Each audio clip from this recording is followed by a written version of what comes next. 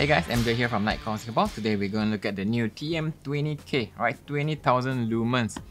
I'll show you the two things that Nitecore did incredibly well and why it's constantly being used by professionals despite its larger size and how it stacks up against other similar tactical lights in Nitecore's range. But before we begin, if you want to win this TM20K, make sure you subscribe to this channel and comment below on what would you use something like this for. Once we get 1000 likes, I'll give away one set to one lucky winner, to be announced in the description box below. Alright, so back in 2018, Nitecore shocked the world with the industry's first 10,000 lumen light, right, that's actually usable in professional scenarios.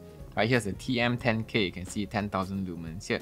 Now, four years later in 2022, the TM20K has arrived with double the brightness at 20,000 lumens. Right, they fixed all the problems with the TM10K and added new tech from other successful lights like the P10 IX here and the P20 IX and of course the TM9K here, right? So these have been the most successful floodlights of the past few months. Now before I go any further, the number one question everyone's been asking, how long can it last at 20,000 lumens before it drops down? Right, the TM 10K could only do 7 seconds before it steps down to prevent it from overheating. Alright, so here's the TM20K. Alright, let's go to turbo. 1000, 2000, 3000, 4000, 5000, 6, 7, 8, 9, around 9 seconds, right? And if you try to force turbo again, 9000, around 9 seconds again, right? Because physics, right? The brighter the light, the more heat generated. And the smaller the light, the harder it is for the heat to dissipate, right? That's why bright lights get hot really fast. And when the light gets too hot, it damages its own circuits. So that's why many lights will claim incredible brightness but only last a few seconds because the heat problem is very difficult to solve. Right, some brands will add fans, others will make it bigger like this, right? Just so the light stays cool longer. But that's something that tactical or professional users don't want, right? Fans are moving parts, which means they will fail in water or any kind of sand or dirt will instantly destroy them. Right? Big lights like this with massive heat sinks are another big no because of their size, right? They're already carrying a ton of gear and most of them need one hand free to use firearms and other equipment, right? They don't have the capacity to lug around a massive one-handed, right? It doesn't make any sense. And almost all big lights have their control on the side here, right? Which completely destroys any tactical one-handed stealth use, right? You cannot have this on the back and then do a SOS or a room clearing or signaling. You can't do it without using two hands. Right, even with something like the MH40 GTR, this one here, which has the tail cap switch at the bottom, it doesn't make sense to hold it right at the back here and then you go. The center of balance is forward, so it's incredibly clumsy to use in tight spaces. So Nitecore knows this, that's why they went the other way. Instead of adding fans and increasing bulk, they did two things to make these high-powered lights actually usable for professional users. The first thing is a very clever control layout that only uses one hand right? It's incredibly easy and I'll show you exactly how it works in a bit. Okay, the second thing is a hybrid reflector that does both flood beam for close range and spot beam for long range, right? This is incredibly difficult to do and you rarely see this kind of design in high powered lights, right? So this is the old TM10K at 10,000 lumens. You can see everything is uh, flat, right? The reflectors are all very shallow. Alright, so when you first get it, it's gonna look like this. Here's how it works. So let's unbox this pop the front off. Uh, there. Let's pop this off. Right here's the holster. Pop it up front. Pull it out. Right here, this TM20K. Now watch how with one hand you can control everything. Right, everything is within thumb and index finger reach on this mode button here. When you first get the light, it's going to be on lockout mode here. Right now, this is important because accidentally turning on 20,000 lumens in a bag is to set it on fire. So when it's on lockup, nothing works. No matter what you press, it's not going to turn on. Even if the lever gets accidentally pushed from lockout to 1 or 2, right, nothing will work. Right? It's a complete uh, fail-safe. When you press something, it'll tell you that, hey, is in lockout mode here. See the rapid blink? Now the foolproof way to unlock it is to hold the mode button in front, then move the lockout lever with your thumb. It's gonna flash once, showing that it's unlocked and it's good to go. So now let's jump to the best part first, the tactical buttons. Right in the middle on either side. So it works for either left or right-handed use. So as long as you hold it, 20,000 lumens will come out or if you prefer 20,000 lumens strobe, you can press and hold the turbo button, tap the mode button once and now when you tap the turbo buttons, it's going to go into strobe Alright, so that this is a 20,000 lumen strobe. Even now, many clients will ask, right, hey, does the strobe mode really work? Right, why should I use this over constant turbo? Right, for one very good reason, it will command absolute attention because of how visually disruptive this is. Right, so if you're in a crowd control or traffic control, this will make whoever stop, look, and pay attention. Right, if you just use turbo like this, right, it might look like a very bright high beam from another car, but if you strobe them, they're going to know without a doubt someone somewhere is signaling them. Now, strobe also has very serious effects up close. This is a true story I often share from a local paramedic. Right, they were trying to help this drunk guy, but he ended up trying to touch one of the female paramedics. Right, he immediately got stroked by another paramedic holding a older P10. Right, the guy got flashed in the face. He quickly backed off and he puked all over the place. Right, then they were able to pin him down and wait for the police to arrive. The P10 he was using back then had a 800 lumen strobe. Right? So imagine what a 20,000 lumen strobe will do, right? So, but there's a caveat to this. It's going to completely blind that person and blind the user as well because of the amount of light reflected back when you're that close, right? Many people don't think about this when it comes to self-defense. Brighter is not always better, and there's a limit to how much light is too much. Right, so then what's the point of 20,000 lumen, right? I can just stop at a thousand lumen strobe and it's good, right? The catch here is that it increases the scenarios and distance that you can use this technique. So with the P10 800 lumens, it's say good for 5 to 15 meters, right? Person to person. It, it might not be so effective if you're facing down cars with heavily tinted windows or let's say a larger vehicles like trucks, boats and construction vehicles. Right, for those you need to have higher lumens and that's where the 20,000 lumens come in. So can you see the scale now? So this is one of the main reasons why some teams have this in their toolbox. Right, high lumens let you punch further and cover a wider area. Right, you can hit large crowds or hit larger vehicles that a smaller P10 light just cannot do. Some clients will also ask, so when should I use strobe versus constant turbo? Now that you know strobe is for getting attention, disruption and disorientation. Constant turbo is for taking away someone's vision for a good 10 seconds or more. Perfect example is another true story an Israeli police officer shared with me. Right, he used the P20 on the streets at night. So he was approaching a group of suspects, like already in hammer fist. When he got to around 5 meters, one of the suspects rushed him with a knife. Right, he flinched, mashed the button on his light, it turned on right in the suspect's face, cleared the knife, and all the suspects turned and ran. Right, so the one that got blinded sprinted straight into a wall and almost knocked himself out. Right, then they were able to pin him easily after that. So that's the effect of a sudden bright light in a dark environment. It burns a mark on your retina. So wherever you look, it's just a blur, right? You really can't see anything. And that's how the suspect ran straight into a wall. So that's the whole point of the TM20K's design, to have 20,000 lumens in one hand ready to unleash in a split second, right? Yet compact and light enough that you can still sprint after a subject right? It's that few seconds where you can completely remove vision from a threat or suspect that makes these lights so incredibly valuable to operators. For example, if I'm gonna just slowly point it up to you, you really can't see anything, right? So while you are blinded this way, people from the side could have already flanked you, right? So that's one of the main uses of a constant on turbo. Right, it's not meant to be used as a high powered 20,000 lumens searchlight that's on all the time. It wasn't made for that. It's very clear who they had in mind when they designed this light. You can tell from the button placement and controls. For the majority of everyday users that don't need to blind people on a daily basis, the two other modes here got you covered. One for daily mode and two for tactical mode. On daily mode, all brightness levels, spot and flood beams are available. Right, here's how the mode changing work. Turn on and press the mode button here with index to change mode from ultra low, low, medium, high, and press this side button for turbo. Alright guys, this is the TM20K back at our favorite car park. Close range low mode. So here's how it looks like. It's on ultra low mode. Go to medium, right high, and then even higher. Right, so at this mode you can see it pretty much lights up everything. You turn off and on again, you remember the mode that you left it in. Right, if you want to push it to turbo, this is how it looks like on turbo, right? Everything is lit. You don't want to alarm the guards, right? So now we go on to medium range, the roof up there, even on low mode, you can clearly see, you know, up to the roof, right? So push it to low, medium, high, right? This is incredibly strong for a, a high lumen light, right? Because of the spot reflector. On turbo, bam, everything is lit up.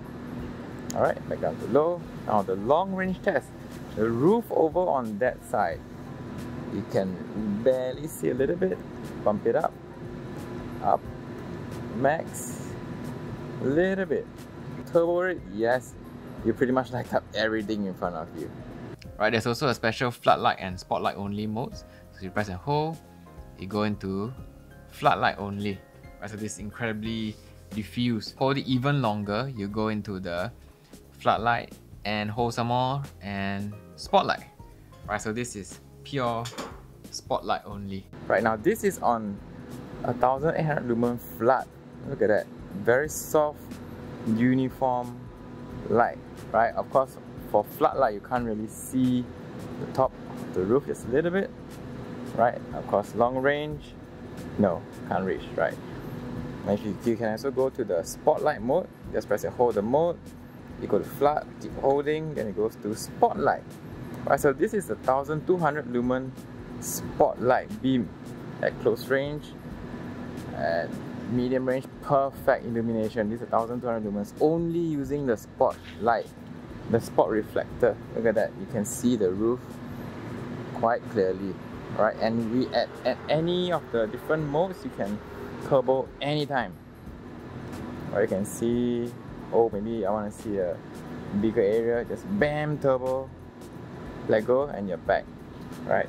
Bam turbo whoa let go and you're back so here's how you can expect it to look like the kind of performance. And look up very clear very big wide coverage right around the corner.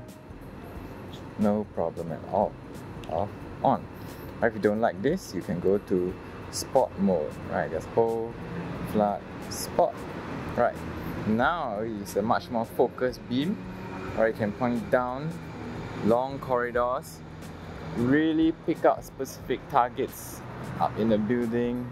Right this is your spotlight mode. Okay you can cover the whole length of the fence this way using the spotlight mode. Okay.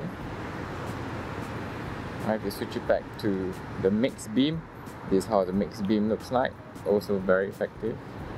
Right, so it depends on the kind of situation you're in and what kind of uh, beam you want to do. This, bam, this is turbo. Right, you saw the difference? It's like literally day and night. Alright. There's mode memory as well, so whatever mode you were on, you just turn it off, turn it on again, and you, you remember the same mode. So let's switch this to number 2 for tactical mode. In this mode, the operations are simplified to prevent errors on the field, just like the P10i and P20i. Right, these had simplified controls to cater to police and military operators meaning when you turn on the light, it's always on full power. So in the TM20K's case, when it's on tactical mode, the power button becomes a momentary switch. Hold to turn it on, let go to turn off. Right, so it's good for signaling and tactical use. Right, there's no way to accidentally turn on the light and make it stay on by accident. Right, once you let go, it's you turn off. So you can also set the brightness level of this mode by holding on and then tap the mode button. Right, so you can cycle to the mode you want, let go. And then now when you turn it on, it's always on that same mode. When it comes to charging, the USB-C QC fast charging port is hidden here. Right, rubber seal so it's waterproof. It goes from 0 to full in 4 hours 30 minutes. So when fully charged, the standby time is about 12 months before you need to top it up again. When charging, this light will blink to show you it's charging. Okay, once it stays on, it means it's fully charged. It also doubles as a battery indicator when the light is on. So if it stays on blue here when the light is on, the battery is above 50%. If it blinks slowly, the battery is under 50%. If it flashes quickly while it's on, means the battery power is under 10% and you need to charge it soon, right? It's quite simple. Another very useful feature is this deep carry pocket clip that's screwed on, right? Three very solid screws here, unlike the clips on the round P20iX or similar, right? That will just snap off if you yank it hard enough. So this is not going anywhere, right? It followed the same clip as the older TM10K right? Deep pocket carry here. Fits perfectly on mole webbing as well if you want quick access, right? The clip is very strong so it's not going to just snap off anytime soon. Everything is very well sealed so you don't have to worry about waterproofing at all. This is submersible down to 2 meters, right? But don't take this diving.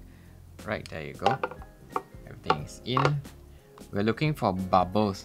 Right, if there are no bubbles means everything is completely sealed. Now there are some bubbles coming out from the cooling fins Alright, you can also change the brightness while it is underwater. Alright, there you go. You can also turbo underwater, no problem at all. Alright, completely sealed. A magnetic holster is included, right? D-Link loop at the back, plus a Velcro belt loop here. Pop the top open, light goes in downwards first, and just pop it close and then you're set. So if your light accidentally turns on in the holster, it's going to show you that it's on. At this point, some of you are asking, hey, but what about the P10iX, right, uh, the P20iX and the TM9K?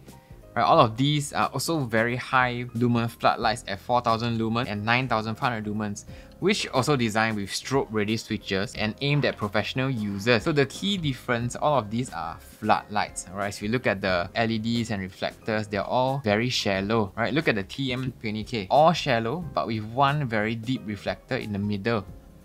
Okay, then compare it with the P10iX. Look at how deep the middle one is. So that is the one that gives you the spot beam. If you compare the performance across the charge, this is what gives the TM20K double the beam distance, right? Up to 260 meters at 1200 lumen brightness. So it might be bigger in size, but this gives you greater reach and 5 or 2 times the brightness for greater effectiveness. So I will rank them in this order of size and capability. If I'm doing urban settings, I don't need to see far, but I need to use the light all night at high or turbo brightness, I will go with the P10iX and the P20iX because they have replaceable batteries. On a full night shift, many of the guys will burn through one and a half batteries on their petrol, so they always bring two spares. The TM9K has double the brightness because you know it has more LED, so you can hit bigger targets, but you can't swap out batteries. Like the TM20K, batteries are built in. So if you know it's only a short 3 hour op and you don't need long run time but want the higher brightness, go with these two like TM9K TAC and TM20K. If you know you're going to a larger work site where you need to see far, cover a lot of ground and move in teams, and you could be dealing with uh, big crowds and vehicles, then go with the TM20K. But many people will say, oh, the built-in battery is a deal breaker. But if you use it smartly, make use of the floodlight and spotlight according to your situation, you extend the runtime by a lot, instead of trying to overkill with turbo all the time. Right, so you can have it on ultra low, let's say 320 lumens, right, which is the max of the MT2A by the way, so you have some context of a low for this light is the maximum for another light. So at this brightness, this runs for 13 hours. Right, so if you need turbo, you can just blast and hold. For turbo, once you're done, let go and you're back to ultra low. Right, you don't need to keep having it on turbo all the time. Right, so that's how you use high power lights. Also, many clients work in teams so this will be one of many lights being deployed, like rotated to whoever's on point depending on the situation. It doesn't make sense to have everyone on the team having TM20Ks blasting like all over the place. If you got this far, then you should now know exactly how this light will help you or not help you. So when it comes to low light, high risk environments, things can escalate very quickly and the kind of lighting tools that you have will decide the outcome in many cases. Right? So if you are using lights that are simply not bright enough or don't have the controls to help you perform your best, then you're only setting yourself up for failure. Just like they say in construction, if you buy cheap tools, you'll be stripping screws all the time, right? causing you more pain and rework. Invest in specialized tools up front and you'll be far more efficient later. The TM20K is one such tool designed for a very specific purpose to give maximum brightness in the smaller size with the smartest controls. So you can do everything one-handed. This is the kind of light that won't get in your way when it's crunch time. Running and gunning on tactical modes, cutting the pie, clearing rooms, to daily tasks on low brightness. And when you need it, just get the insane punch and then it's back to work again. So now you've seen the two things that Nitecore did incredibly well and why it's constantly being used by professional users. It's the one-handed controls and unique combination reflector, giving it double the distance of any other high lumen tactical floodlight that came before it. There's nothing like this on the market right now that can get you this unique combination of of control and power. These are all in stock now at nitecorelights.com. If you buy the TM20K direct from us, we also throw in three of the most useful bonuses to complement your new light. The first bonus, the MB20K power bank, 20,000 milliampere carbon power bank. This will fast charge the MB20K twice over, right? It also works great for your phones and even laptops. You get this free. Right, second bonus is this MPP30 pocket pouch, which will not only protect the power bank, right, but other essential uh, cables as well. So you see it fits perfectly in here when you're running and gunning. Right, there, perfect fit. Okay, you also get this pouch free. The third bonus is the NU06 LE beacon light, which can be charged and powered by the power bank as well. Right, so this is the most sought after beacon from Nitecore now. It has four colors, three different rear attachment brackets, mole, magnetic, velcro, gonna keep you safe and visible in all kinds of ops. If you buy everything outside, it's 816 Singapore dollars, but you can get it now for just $529 when you get directly from us. You can also go for a 3-month installment, so there's no reason to not take advantage of this incredible offer. They are all in stock now. If you need to buy in bulk for your organization, just contact me and I'll work out a deal for you. As usual, these bundles will sell out fast, so order yours today. Right, this is the best launch bundle for the TM20K that isn't available anywhere else. So don't waste. Once your order is placed, we'll courier everything to your door within a week or so. Okay, the link to order is in the description below. As usual, this comes with our 60-day money-back guarantee and fast-free 3-year warranty, so there's no risk at all. If you'd like to see more videos like this where we help you choose the best lights for your work, adventure, subscribe below, and I'll see you on the next video. Alright, MJ signing out.